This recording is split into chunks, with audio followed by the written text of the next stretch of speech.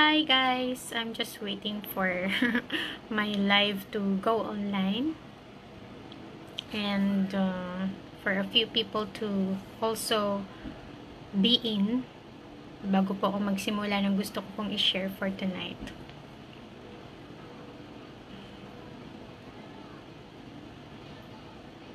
Okay, I think I am live. Let me just check sa akin pong isa pang device kung ako po ay live na. I think I am. Alright. Okay. Hi everybody. Good evening. Today is December 23, 2022. And I'm just gonna do a short uh, live para po sana i-share sa inyo yung naging uh, tatlong messages na tumadak sa akin ngayong gabi sa aming uh, pag-conduct ng online Christmas gathering sa The Checkpoint Online. Ngayon po yung amin naging Christmas party pero online and we celebrated it by um, praising and worshiping. So, I really want us to, uh, kumbaga, eh, in-normalize yung i-include si Lord or si God sa lahat ng ating pong mga activities even if it is uh, supposedly a review. Alright? And I want us to be, uh, you know, comfortable uh, talking about Him and praising Him and worshiping Him. Kasi when we do that, when we have that attitude, it makes our journey to RMT relatively bearable than when we are, you know, um, alone in the journey in a sense na hindi po natin i-nililift up yung ating pong mga dinadala para uh, kay, kay Lord para matulungan niya tayo. So, it really is, um, um, I, I really feel very blessed to have this opportunity to share with you because um, thinking back, kung ako po yung student na mag-review uh, for a major exam like the board exam, I would have wanted someone to also remind me of the uh, promises of God and I would have also I would love to also have an, uh, a family which I can um, um, turn to kung ako po ay nahihirapan na ma, may nahihirapan i-navigate no yung yung road to RMT journey. Because it can really get difficult. Kahit na sobrang sabihin natin na tayo po ay matalino nagagawa natin yung ating pong mga uh, to-dos no on track uh, right on track naman tayo sa mga gusto natin na um, tawag dito, na gawin, no, yung schedule natin. No, kahit nasabihin natin, perfect ang ating pong nagiging um, approach sa board review, there will come a time that when you wake up, you feel like it's not enough, or you feel like it's not gonna be, it's not, uh, it's not possible anymore to, to, to pass a board exam or even top it. Alright? There will be that roller coaster of emotion eh. Mapupunta talaga tayo dun. I'm not saying this to scare you. Ah. It's just that it uh, it is anticipated because it a, review season is a very a strat is a very stressful season. And if we don't know uh, who to look um, at who to fix our eyes on or what to think in cases like this then maybe we'll we'll uh, get really really lost and you know uh, maybe we'll along the way I will quit.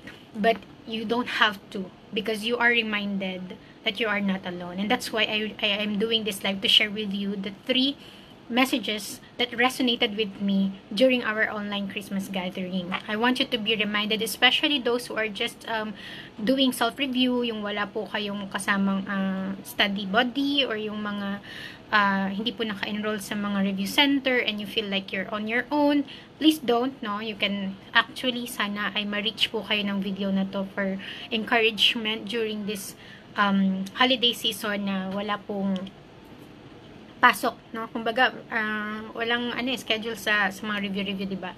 So, I also want to, uh, I prayed to God na sana ay masabi ko ang ta ng tama yung mga gusto kong sabihin at sana po ay ma-reach nitong video na to yung mga taong nangangailangan na marinig yung message. I'm so sorry. Pero yung, yung web, yung camera kasi ng cellphone ko bigla adjust ng adjust. Okay, so, um, I'm just gonna make this quick uh, this Christmas season, we are reminded of three things. The first thing is that God does not want us to be afraid. And um, kung inyo pong uh, babalikan yung mga worship sessions na na-share na natin previously, maririnig nyo po doon na i-share na uh, kung i-check daw natin yung Bible, you will be able to count uh, a message that tells us uh, to not be afraid. So, yung mga may mga temang do not be afraid, ang count niya sa Bible is 365 times. it's a way of saying that daily you are reminded to not be afraid. So sabi po ni Pastor Jello sa mga nakaraan niyang sessions, yung yung yung fear does not come from God. So if we look at ourselves and we like fear the, the, the upcoming board exam or kung ano mga exam yung pinaghahandaan nyo, you, you feel scared or you feel uh, the fear, then you remind yourself that it does not come from from God because God does not want you to fear. And yun po yung, yun po yung uh, gusto nating ma-remind sa inyo. 365 days a year, 365 times na banggit na wag po tayong matakot. Do not be afraid. So, ang, ang, ang summary po kung ba't ko to sinishare sa inyo is because it's Christmas season, we have to be reminded of the message that it brings. It's not the gift giving, it's not the fancy decorations that we see, it's not even Santa Claus, it's not the um, what, the Christmas party, the, the, the celebration, of course, mm, nasa tradition na natin mga Pinoy yan, but it's not the, the reason for the season, no? E, cliche man pakinggan, I, I just want us to really um, realize that because when you realize it it will be it will make your um, celebration more meaningful. The reason for this season is jesus and he coming to the world and saving us is a big deal and especially for those who know the christmas story diba but uh, putting it into context of a, of a student who is preparing for the board exam this is what i want you to be um, this is i want you to be reminded of. I want you to be encouraged sa tatlong messages nga. Una, do not be afraid. Okay, even if makita mo yung countdown sa mga susunod na araw na nababawasan na nababawasan, pero hindi mo nababawasan yung number of reviewers sa, to the point na gusto mo talaga ma-accomplish yung nilista mong schedule, don't be afraid. Okay? There's nothing to be afraid of because you are not alone. Even if literally or physically you are, but you will never be left alone, of course, because God is with you. Okay, that's the the the, the meaning of uh, Emmanuel, di ba? God is with us. Alright, so do not be afraid. Um, relating it to the Christmas story, mga Beshi cells, sa, sa Christmas story po, when the angel talked to Mama Mary, si, si, si Mother Mary, ang unang message niya is, do not be afraid. So, um, it, sa, sa Christmas story, nabanggit din yung sinasabi sa atin ni Lord na inuutusan niya tayo. It's a command. It's a command. Do not be afraid. So let's pray that uh, um, during the remaining days that we are waiting for the great battle days ahead, for the March 2023 exam, um, let us remind ourselves every single time that we will feel the fear inside, let us be reminded that, hey, God does, God does not want you to, to feel that way. And in fact, He is reminding us daily to not be afraid. Okay? Do not be afraid. Pangalawang message po ay, wait, wait lang. Bago tayo pumunta sa pangalawang message, let me just uh, also butt in sa aking sinabi na do not be afraid. You may say that it's easier said than done, but it's possible. Okay, how? You constantly talk to God. You constantly remind yourselves. Um, I, I, I actually recommend buying uh, things like this. Marami po sa Shopee. Yung mga ganito, yung mga promises ni Lord, yung mga Bible verses, na kahit hindi ka pa po well-versed sa Bible, you may start also, eh pwede mong panghawakan. No? Lagi po ako may ganito kasi sometimes I do this, no? When I, I feel like uh, overwhelmed about something, I'm just gonna pick a, a card so that I'm reminded that, you, you see, Our God is able. 2 Corinthians chapter 9 verse 8. So I also recommend that if ever you don't have something like this, you can buy or maybe you can gift it to others, okay? So that they may also have something that they can um, read and uh, reflect on pag sila po ay nahihirapan at sila ay natatakot because we don't want you to be afraid, right? We don't want you to be afraid. God does not want us to be afraid and fear does not come from God. So that's the first message. The second message that I want to tell you is the, the Christmas story, the Christmas season reminds us that God, when He promises, He fulfills it unlike us na mga tao na kapag nag, uh, nangangako, eh, may tendency talaga, napakalaking tendency na hindi matupad. But when the promise comes from God, it will happen. No matter what, it will happen. No matter how long, it will happen. No, makikita rin natin to sa Christmas story when um, a savior is born sa Israel, no, 'di ba? They have to wait for 100 years for this to come, but the point is um, no matter how long, But when God says it will happen, it will happen. So, uh, the, the, the point is, kapag daw meron, nag, uh, ito yung isang tumatak sa, sa, sa akin kasi kanina sa, sa, sa, sa message. Sabi ni Pastor Jello, if um, may magsabi daw sa'yo ng Merry Christmas, since the Christmas story is a story of God fulfilling His promises, it's like telling us na God's promises will come true. No, pag meron daw bumati sa atin ng Merry Christmas, it's like we can interpret it as God's promises will come true. God's promises to you will come true. So, kung ibabalik ulit natin sa context ng student na nagre-review, parang pag meron nag-Merry Christmas sa inyo, say, for example, me, Merry Christmas, RMTs ni Lord. It's like saying na, mga RMTs ni Lord, this is a reminder that God will fulfill His promises to you. So, be patient in waiting. And, um, uh, dito, keep the faith. Okay? Do not be shaken because uh, magkakaroon kayo ng mga uh, araw na talagang challenging, no? lalo na kapag mga subjects na inaaral nyo ay challenging din. You will um, sometimes be consumed by thoughts na hindi mo na kaya, no? hindi ka bagay maging RMT, uh, ito ba yung tamang landas para sa'yo. So, na nakuha din namin dun sa senior ni Pastor Jello, sabi daw doon, uh, paano, paano natin malalaman kung ang, uh, kung ang pangarap ay nanggaling kay God pag daw sobrang laki, pag sobrang taas ng pangarap na kung tutuusin, hindi mo kakayanin mag-isa, that comes from God. Okay? It only means that we have to recognize that we need Him for this um, promise to be fulfilled. Of course, uh, ako po ay living testimony na God delivers. God fulfills His promises. I believed in my heart that He can make me uh, or and will make me a top notcher. And he did. I'm not saying this to brag or to to uh, you know humility aside. I always say that i was able to top the board exam for medtex because of god and nothing else. Hindi po dahil sa marami akong nito no? Alam ko marami akong ganito charot.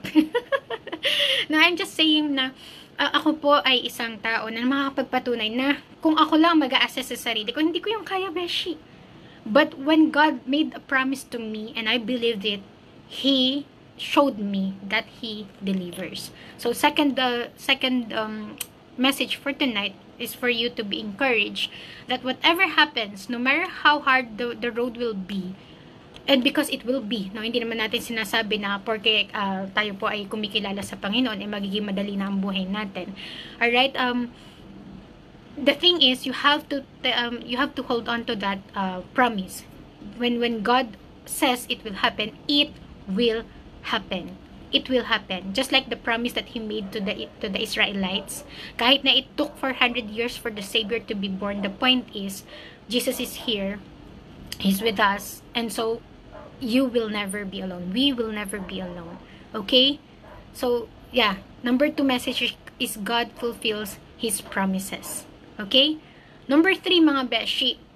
Sa Christmas story din po natin, ako pala, ko, gustong isingit. Yung paulit-ulit ko pong sinishare sa page na verse na, ay hindi, bago pala yun, beshi, sinulat ko na pala yung mga gusto ko i-take note nyo na, na verse. Tukol dun sa, sa, sa, sa, sa, dito, sa promise na, na ang tawag doon na matutupad. Kasi 'di ba sinasabi ng iba 400 years pa bago na natupad yung promise. So parang hindi ko kaya maghintay ng ganun. Ito po yung pwede nating panghawakan na verse. Kung kayo po ay nasa season of waiting, kung kayo po ay parang hindi nyo nakikita na God is working, kung kayo po ay nandoon sa area ng buhay nyo na parang na, na, sobrang dilim, wala kayong marinig, wala kayong maramdamang Panginoon, this is something that you can hold on to. Habakkuk chapter 2, uh, chapter 3 verse, uh, chapter 2 verse 3. I'm just gonna read a part of it, ah.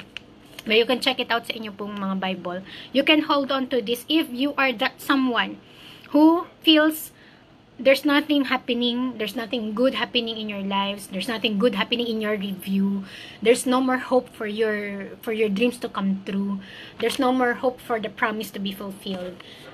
Ito po yung sabi niya, if it is If it seems slow in coming, wait patiently, for it will surely take place and it will not be delayed.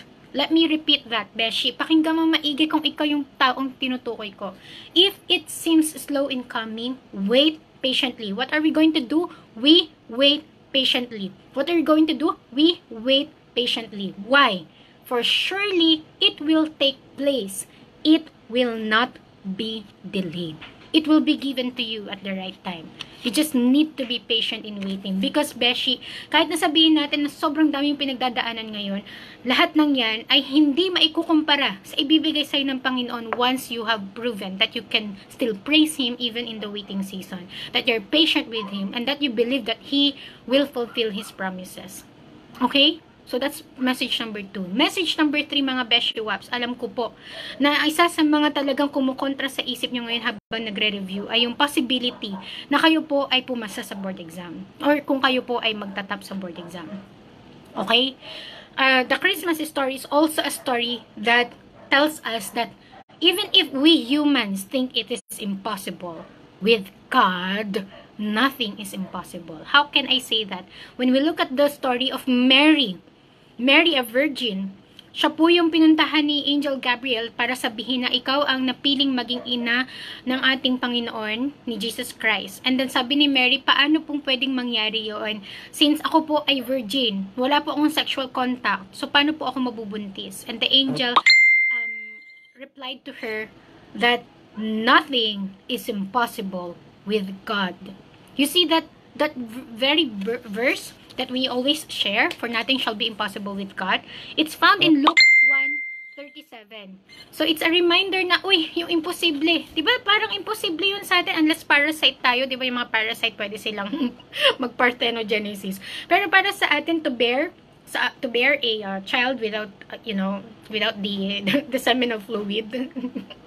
in-insert na yung CMN, no? Di ba sobrang imposible nun? But here we are being given an example that when God wills it, it shall happen and it will not be. Uh, it is for nothing for nothing is impossible with God. So the Christmas season is also a reminder for you na kahit nasabihin mo imposible mo nang matapos, imposible mo nang maipasa, imposible mo nang makuha yung ipinagdadasal mo, well, hey, here's the answer nothing shall be impossible with God. Alam mo, napakaganda nito sa Tagalog. Teka lang ha, basahin ko lang sa inyo yung Tagalog version nito. Para mas nakakakilig siya sa Tagalog um, translation. Alright, let me just read it to you. Sapagkat walang anumang bagay na hindi kayang gawin ng Diyos. Oh, napakagandang reminder mga beshi. So, I'm really taking my time to share this share this with you because I don't want to, you know, keep it to myself. But um, I, I'm sure that you will be able to use this during the time na kayo po ay matcha-challenge. Kasi nga, sa mga susunod na araw, it will become harder kasi mas maraming um, reviewer na dapat matapos, mas konti yung araw na, na, na natitira because 'di ba pa, pa we move forward eh. We, we, we're moving forward sa dates. And we cannot say that we're afraid so that mm, i-delay na lang natin yung board exam. We cannot always say that way. Okay? So we have to um, face the the challenges of the uh, of taking the board exam or this road to RMT journey now with God with us. Alright? The Christmas season is a reminder that you're not alone, that you don't have to be afraid. God is with you, that He will fulfill His promises to you, and nothing shall be impossible for Him. Alright? So, kahit nasabihin mo pang hindi, hindi, hindi, hindi, doc eh. Kasi ang dami ko talagang mga failures noon eh. Pang ilang take ko na, hindi pa rin ako makapasa-pasa. Hindi talaga eh. Alright? Well, 137. Just do your best mga beshi. At kahit sa tingin nyo po sa standards ng tao ay hindi yan kapasa-pasa, iba ang standards na ginagamit ng Diyos. Kaya isama mo siya. Paggising mo, bago ka magbuklat, habang nagbubuklat or habang nag-aaral or habang nagme-memorize ka, habang gumagawa ka ng mga sticky notes mo, magdasal ka, kausapin mo siya, Lord, nahihirapan ako intindihin ano bang ibig sabihin nitong metabolic acidosis na to, pang tulungan niyo po ako. And I don't know kung paano niya, kung paano mangyayari sa'yo, but it can. It can happen. That miraculously, you will be able to understand. Maybe from um, hearing someone explain it well, or from a friend who um, helped you, or from a reviewer that you you have um, encountered, no? He can answer your prayers in many, many ways. You just need to talk to Him. Okay? Even after studying, you talk to Him. normalize talking to God. And not only during the hard times, and not, not only during the happy times or during the the asking times, yung may bay nagdadasal tayo, but make it a habit every day. Whether you're happy, whether you're sad, whether whatever, you talk to Him. Make Him part of you, and you will be able to sail this life on earth relatively easier than when you're, you're, you're when you're thinking you're alone. You're not. All right. Jesus coming to earth and saving us is a, a, a reason, is a proof that we're not alone. And noon, maaari, no, habang hinihintay natin yung pangako ni Lord na, na magpapadala siya ng Savior. But now, He's here. He has conquered the world. And He's already victorious. So, let's find comfort dun and encouragement dun. And if you're meant for this, God will make it happen. Alright? I hope you are encouraged and if you are, share it sa inyo pong mga friends that will also need to be reminded of the the reason why why, why we are celebrating the Christmas season. Beshi, before I end my live tour tonight, I just want to say Merry Christmas! Merry last Christmas na walang RMT title sa pangalan mo because simula next year, hmm, PRC license ka na. Amen to that, mga beshi. Amen to that. Hashtag happy, ready, RMT ni Lord sa 2023. Okay? Merry, happy, last